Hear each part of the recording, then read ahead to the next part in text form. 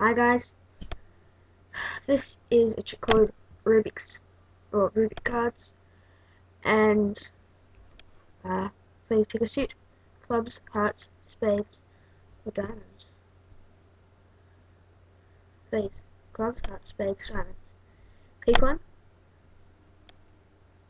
and then we'll go to the next one.